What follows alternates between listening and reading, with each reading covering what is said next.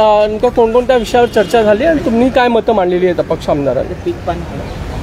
माननीय मुख्यमंत्र्यांनी अपक्ष आमदारांना त्यांच्या त्यांच्या मतदारसंघातील एकंदर कामाचा आढावा घेण्याच्या असं करता म्हणून चौकशी केली. आमचे राहिलेली कामं ची काही निवेदनं यादी आम्ही त्यांच्यापर्यंत दिली. अपक्ष आमदारांचं साधारण सरकार चालवत असताना त्याचं एक वेगळं महत्त्व आहे आणि तेही त्यांनी मान्य केलं. अशी आणि त्या ठिकाणी आठ आमदार अपक्ष होते.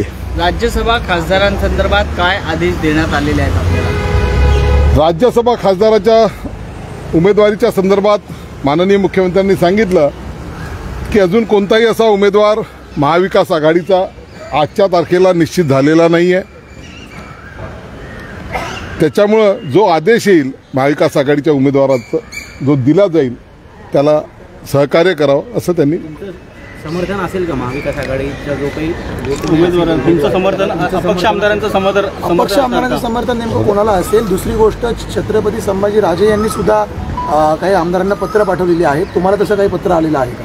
छत्रपती संभाजीराजेंनी जेव्हा आपली उमेदवारी जाहीर केली आणि सांगितलं की एकोणतीस अपक्ष आमदार हे आहेत आणि हे ते आम्हाला मदत करतील मी तेव्हाच माझं विधान दिलं होतं स्टेटमेंट दिलं होतं की आमच्यासोबत अजूनपर्यंत छत्रपती संभाजीराजेंनी संपर्क केला नाही.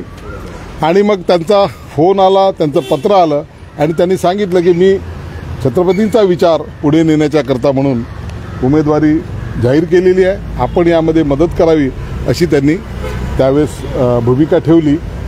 आत्ता माननीय मुख्यमंत्र्यांनी सांगितलं की काल छत्रपती संभाजीराजे त्यांना भेटून गेले आणि त्यांनी सांगितलं की महाविकास आघाडीने त्यांना पाठिंबा द्यावा. मुख्यमंत्र्यांनी काही ती काही त्यांची चर्चा झाली. आणि त्यामध्ये साधारणतः असं दिसतंय की मुख्यमंत्र्यांनी त्यांना सांगितलं की समर्थित उमेदवार शिवसेनेचे समर्थित उमेदवार व्हा. तर या तुमच्या या उमेदवारीबद्दल विचार करता येईल.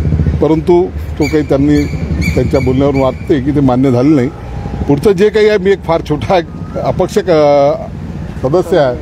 परंतु जो निर्णय होईल महाविकास आघाडीचा उमेदवार त्या ठिकाणी निश्चितपणे निवडेल सर्व जे अपक्ष आमदार होते आठ अपक्ष, आमदारांचं आठ अपक्ष. काय झालं? अपक्ष आमदारांचा आमच्या दृष्टिकोनातून सगळ्यात जास्त मतदारसंघाच्या विकासाच्या दृष्टिकोनातून चर्चेला आम्हाला महत्त्व आहे. राज्यसभेमध्ये कोण जाते? विधान परिषदेमध्ये कोण जाते? हा विषय आहेच आहे. परंतु आमच्यासाठी म्हणून कारण की आम्हाला कोणत्याही पक्षाची मदत नसताना जनतेने इतक्या मतांनी आम्हाला निवडून पाठवलेलं असते. म्हणून आमची पहिली बांधिलकी ही मतदारसंघाच्या कामाच्या विषयीची असते.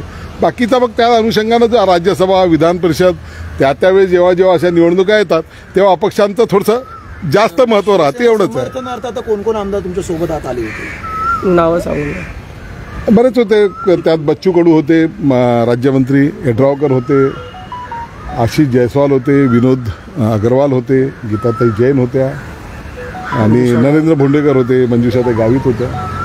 चंद्रकांत